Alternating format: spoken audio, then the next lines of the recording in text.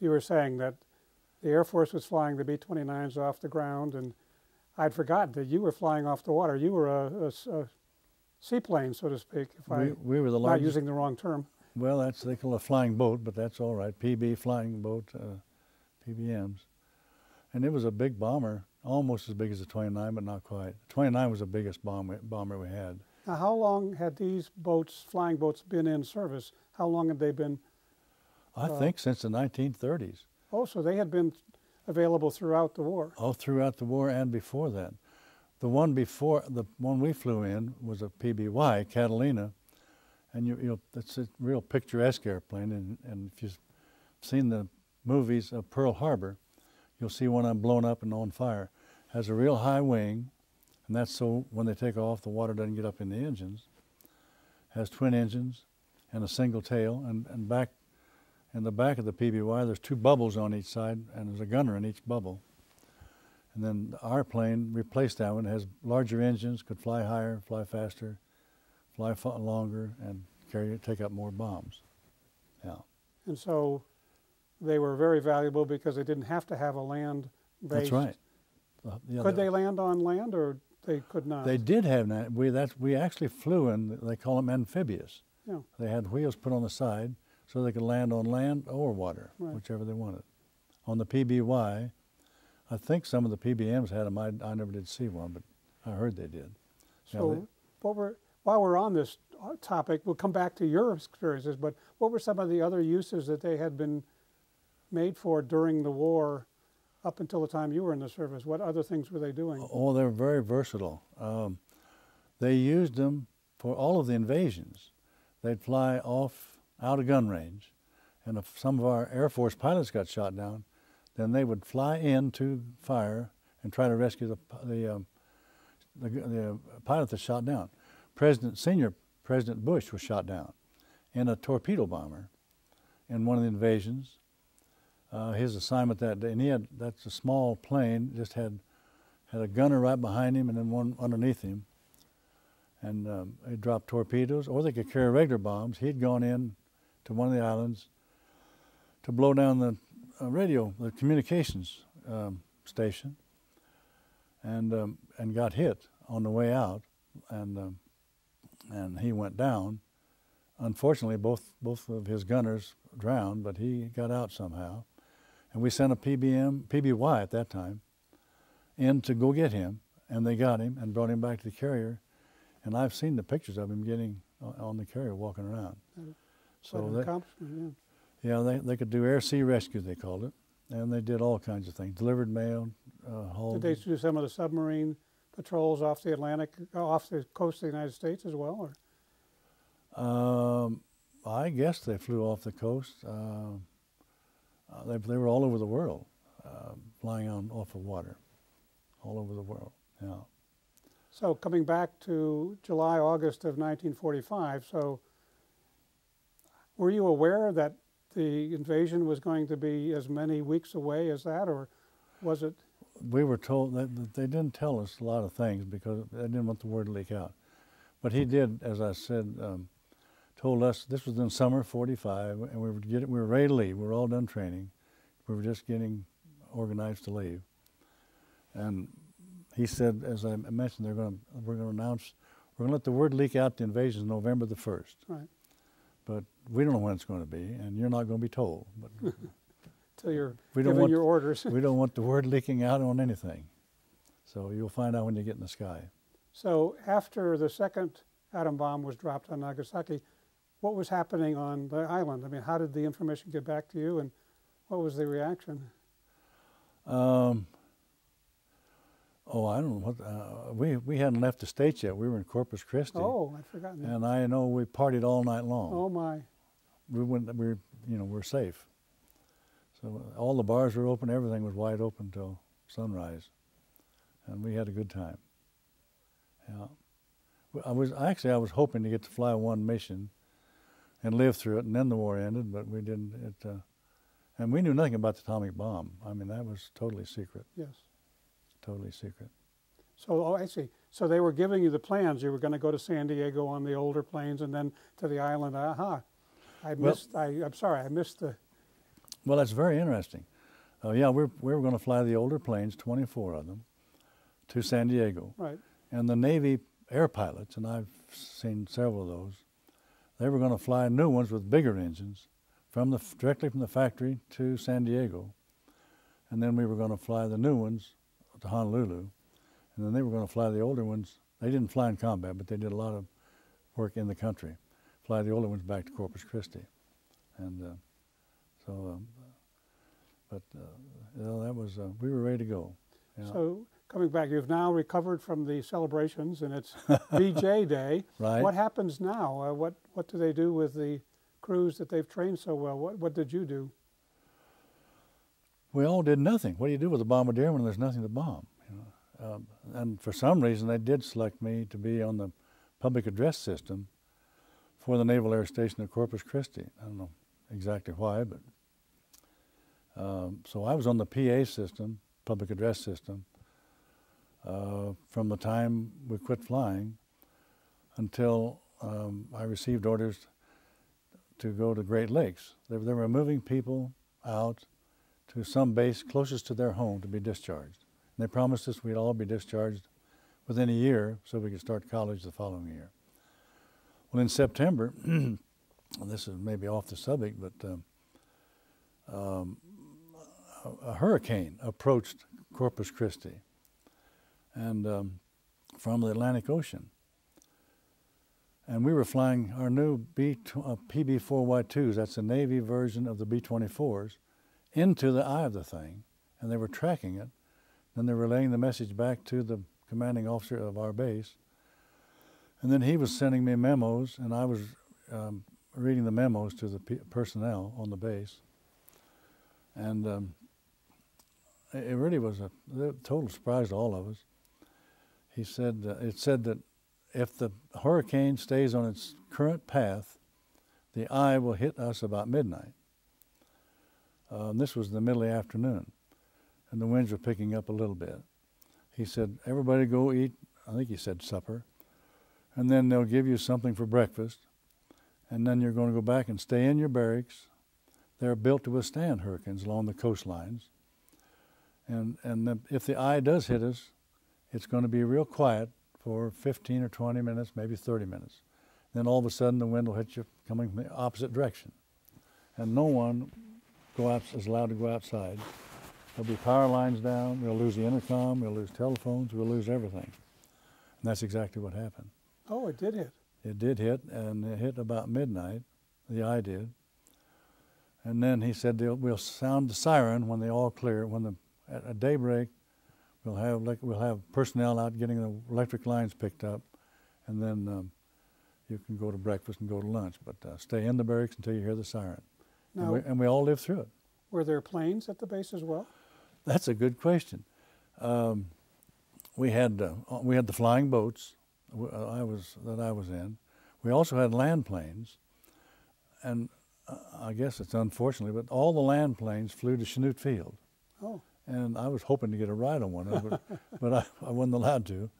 And all the um, flying boats went to a big lake in the northern part of Texas somewhere, and I don't remember the name of the city.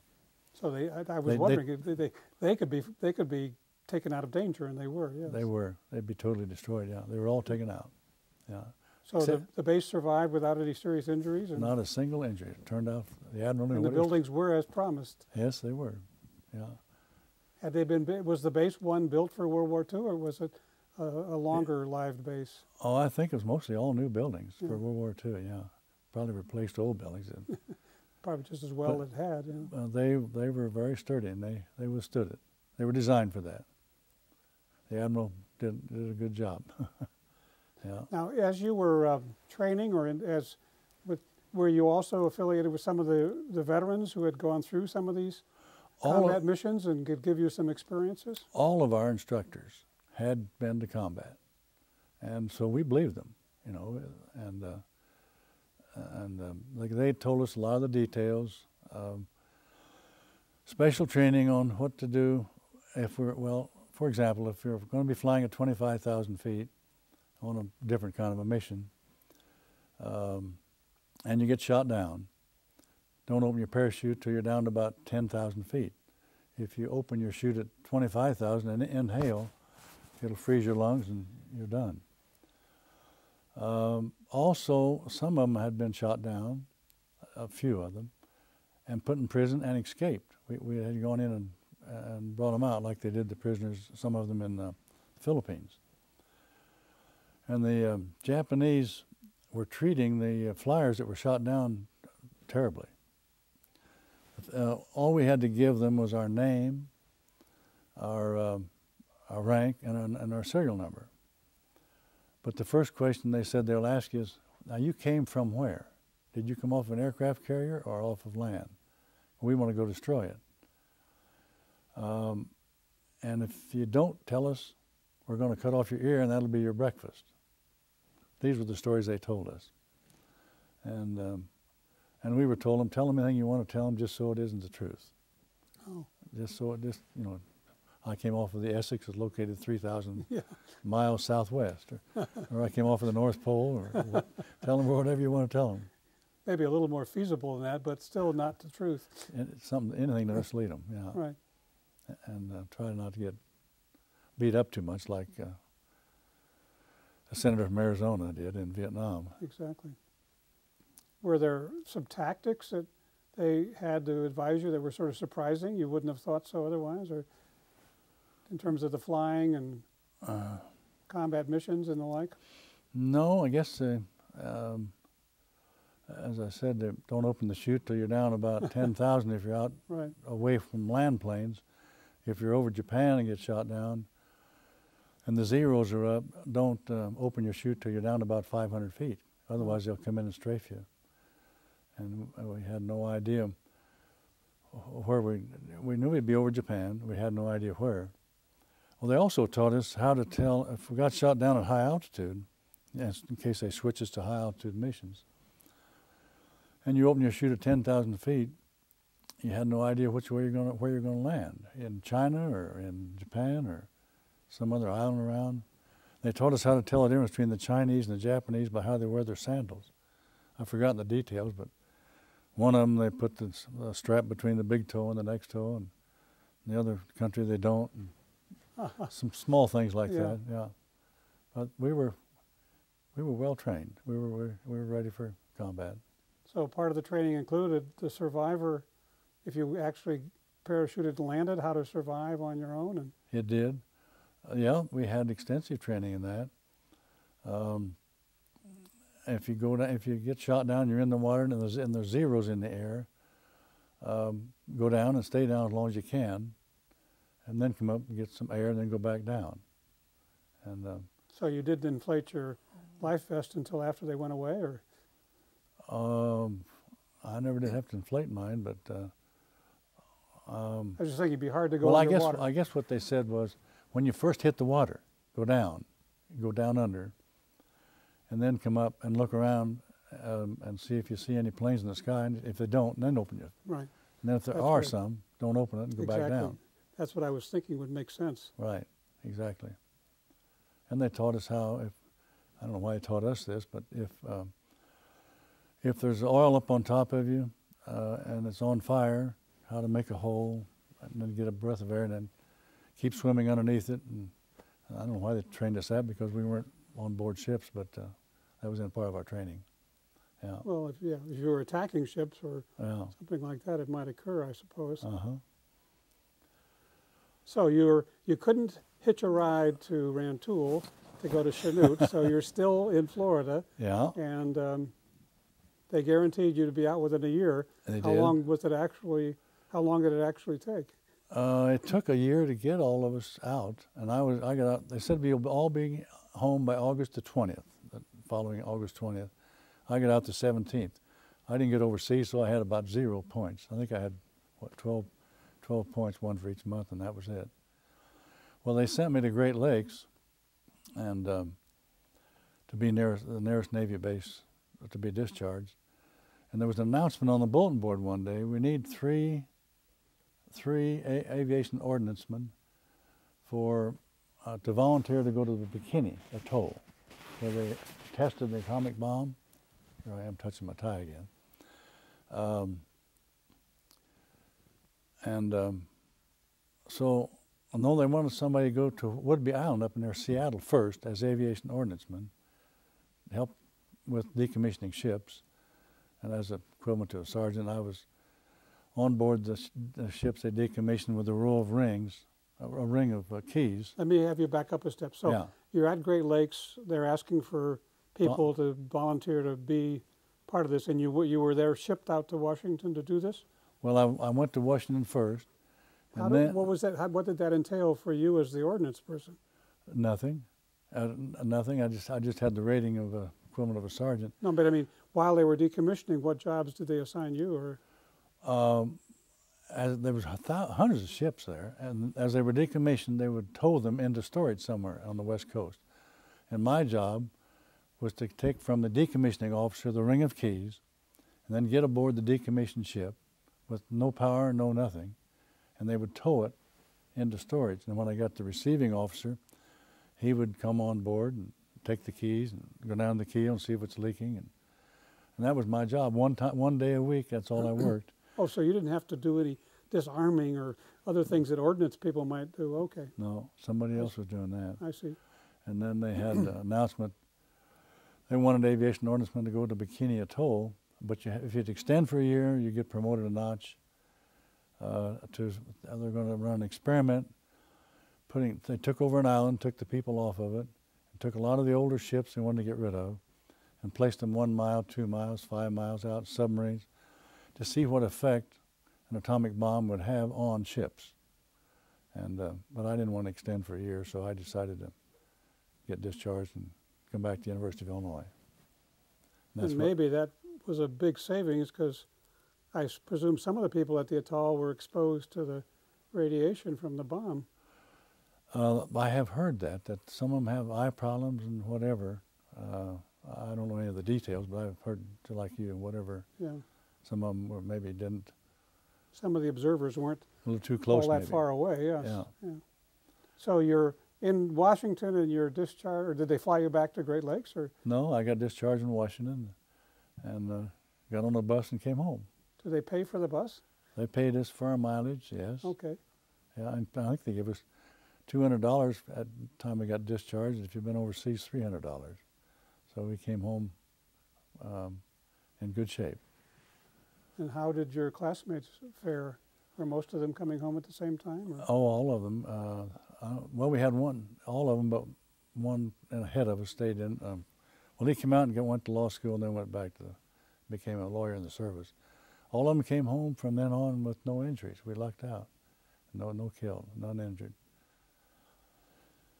Yeah. How do you think your generation of the high school class looked back on this experience and how it affected them? Well, we have a class reunion actually, and uh, discuss this thing. One was a paratrooper that got wounded on D-Day, the longest day in Europe. Another one was an invasion of an island in the Pacific, and he was wounded. Oh, they don't say much about it. Uh, They just, you know, they, they live through it, and that's the main thing. Yeah. It is surprising to me, though. I've asked some um, high school kids grandchildren, they really don't know much about World War II. I think you're doing a great job here. And one of them said to me, "Well, did we join up with Italy to fight the Russians?" so I think they they need to have an maybe a, an hour class some uh, sum up World War II would be. A, a, it was it was uh, we weren't sure we were going to win that thing in the summer of '43. Hitler had all of Europe except England. He was making plans to take it. Um, Hirohito had all of the uh, Japanese had all the Pacific west of the uh, Hawaiian Islands, north of New Zealand, part of China, and they had actually invaded a couple of islands in Alaska. I don't know if you've heard of that or not. Yeah, had to, and Yeah. Right. So plus uh, all of the Indochina Peninsula and exactly, yeah. So uh, we weren't sure we were going to win that thing, but uh, it, it finally worked out. One other thing that you might try to give to your grandchildren is the impact of this and the GI Bill on your class. In other words, if you say went back to the class of 33 at Mahomet High School, how many of them went on to the University of Illinois versus the class of 43 and the effect the war had on them. Do you have a feel for that? I do. I don't think any of them went to uh, college that I know of. Uh, well, I know one. But after that, I know several people. Um, when I came back University of Illinois joined one of the fraternities, we had people in, in our pledge class, 16 of us from age 18 to 30. I used to say 31, and no, something I got corrected. It's 33. Oh, And they, several of them said they would never have been able to go to college uh, had, had not been for the GI Bill. And Roosevelt designed that, I guess. And his theory was that they'll earn enough much uh, more money and pay more income taxes to more than offset the cost of going to college. And it's turned out exactly that way. Right. Turned out exactly that way. plus the class of 33, many of them had no way of traveling, whereas your classmates had been to Europe and Japan, or the, to, Yeah, and yourself, and so yeah. that gave them a different horizon. It did, yeah. Yeah, we came back home from the service, uh, loyal Americans. I've, I've always thought, and I know it's financially probably impossible, but if you could send um, all of the boys that finish high school into the service for six weeks or eight weeks and send them anywhere in the world, uh, they'll come back home much more loyal citizens. Hmm. Uh, there, there's no way they can avoid that. Um, even even uh, seeing England and Ireland, Scotland, Germany, and others. Yeah, it was a great experience, frankly. It was a wonderful experience. Do you have any other thoughts that you'd like to share with us as we conclude your interview?